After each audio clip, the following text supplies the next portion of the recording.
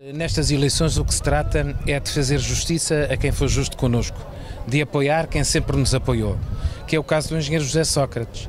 Se nós verificarmos o passado recente, verificamos como ele foi corajoso e determinado no apoio que nos deu no Estatuto de Autonomia, como foi lúcido no apoio que nos deu em ter mais fundos comunitários, mais 25% de fundos comunitários até 2013, como foi igualmente corajoso em distinguir a realidade dos Açores da realidade da Madeira, dando mais fundos aos Açores a título de solidariedade nacional.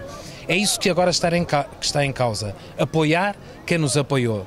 E não o caso de Ferreira Leite, que compromete claramente o presente e o futuro dos Açores. Foi a Ministra das Finanças que fez suspender a Lei de Finanças Regionais, foi a Ministra das Finanças que fez suspender a nossa capacidade de endividamento é a líder do PSD que na Madeira diz que vai beneficiar a Madeira, nos Açores diz que não vai prejudicar os Açores e a maior promessa que ela nos consegue fazer é que não se vai vingar dos açorianos. Mas os açorianos não merecem vingança de ninguém.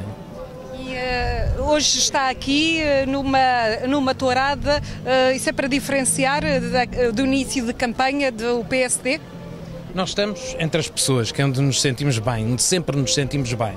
E não temos vergonha de estar diante das pessoas, porque sabemos que ao pedir o apoio ao engenheiro José Sócrates, pedimos o apoio para uma pessoa que sempre nos apoiou. Está a dizer que a doutora Manuela Ferreira Leite teve medo de estar entre as pessoas?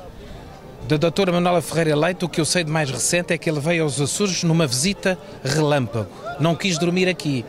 Não porque o clima dos Açores a asfixiasse, mas porque a consciência dela de certeza que não a deixava dormir nos Açores. E agora aqui na Tourada, não, não tem medo aí de, de, de touros? Não, eu sou tudo belo de festa taurina.